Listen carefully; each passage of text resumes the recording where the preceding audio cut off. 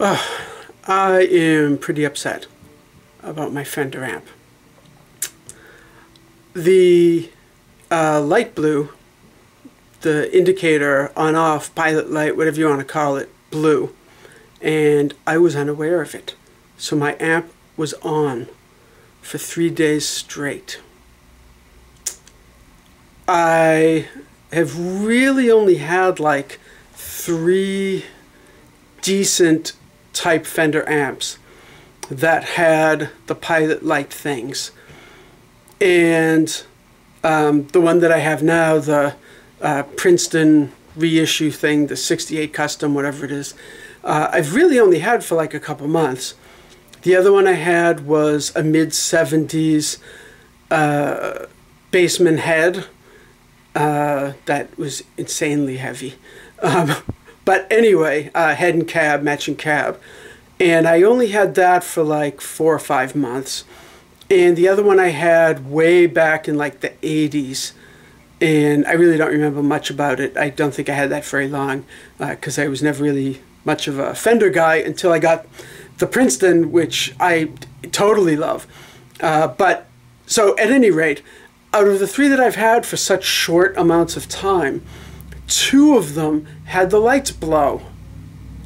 So, I think this is some sort of like a, uh, you know, issue, uh, just something, uh, I can't think of the word, uh, but, but, you know, a problem that Fender amps have. So anyway, I came over and let me turn over to here.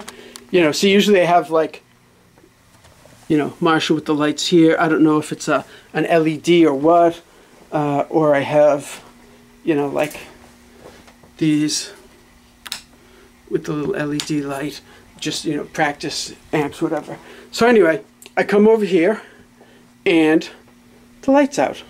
Okay, you know, that's fine because I leave at the end of uh, the day after teaching and everything and I do a quick sweep around the room to make sure I didn't leave anything on. And I didn't. No lights on. So I go like this to turn the switch, because the switch is like right here in the back, to go turn the switch on. I'm like, why is that so hot? Like, why is it so incredibly hot? So I reach carefully, because I don't know if it's short circuited or what. I reach and the switch and it's in the off, uh, it's in the on position already up. And I'm like what the heck?